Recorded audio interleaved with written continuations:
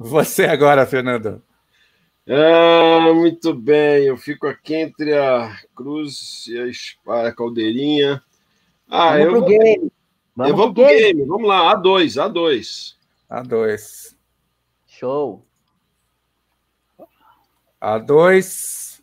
A pergunta é a seguinte: é a pergunta que mais buscam lá no, no, no meu canal, a, o- a tua entrevista lá, que é. Então eu resolvi fazer a pergunta aqui de novo, Boa. que é qual a diferença entre palhaço, clown e bufão?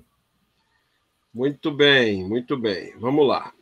A gente designa clown para quando é a pesquisa do palhaço, mas de maneira mais eh, não tão circense.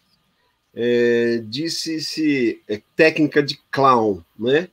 Porque quem desenvolveu esse trabalho foi o Jacques Lecoq. O Jacques Lecoq ele se inspirou muito no Chaplin para desenvolver essa coisa do que é que você tem que é naturalmente engraçado como treinamento para ator.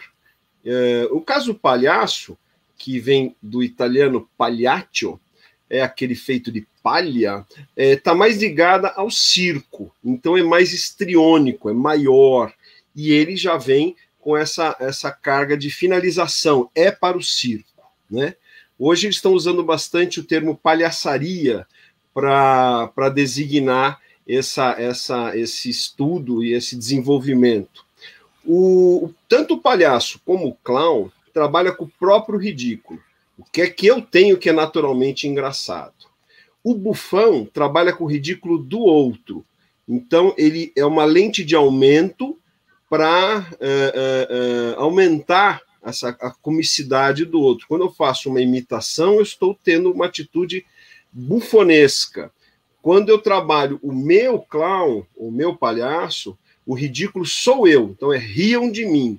Essa é a ideia. Eu, eu costumo dizer que o, o, o palhaço é, é, o, e o clown, na verdade, é a mesma coisa. O princípio é o mesmo. Agora, é você ingênuo, é você com seus sete, seis, sete anos de idade, uh, uh, olhando o mundo de maneira nova e com esperança, porque tanto o, o, a criança quanto o palhaço cai, mas depois levanta, ele não fica ali muito tempo chorando, não guarda rancor.